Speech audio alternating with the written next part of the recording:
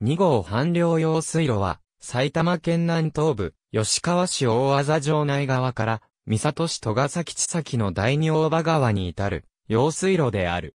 吉川市場、内川水系図、2号半両用水路は、吉川市、三郷市、北葛飾郡松伏町東部地域の灌漑のために整備された用水路である。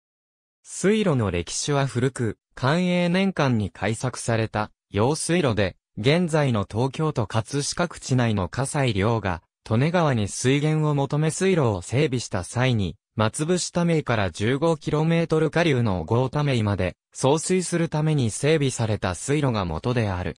江戸川と中川に挟まれた三郷市、吉川市の地域は、古くは、二号半領と呼ばれていた。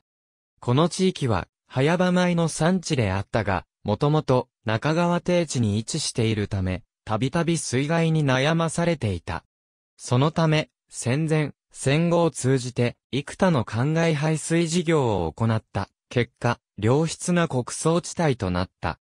現在、松伏町大和松伏の2号半領、用水機場にて、大落ち、琴音川の松伏田名から、また水量補給のため、三郷市彦川との2号半両、中川用水機場にて、中川より取水を行っている。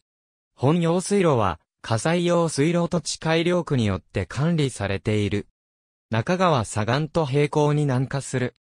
三郷市内、彦の橋宗谷橋国造橋彦倉橋、上り口上橋上り口橋上り口、下橋上地橋、上げ地橋番正面橋十丁橋から、実町橋彦、沢橋荒彦沢橋名称不明彦、江橋彦へ中橋彦へ下橋。上橋下橋佐久間橋、毛来上橋、中橋谷口橋三分橋名称、不明つくばエクスプレス名称不明境、大橋名称不明名称不明五月橋、早乙女橋稲荷橋夕月橋あけぼの橋地蔵橋、前川新橋、前川大橋、前川中の橋平和橋天皇橋梅田橋。ありがとうございます。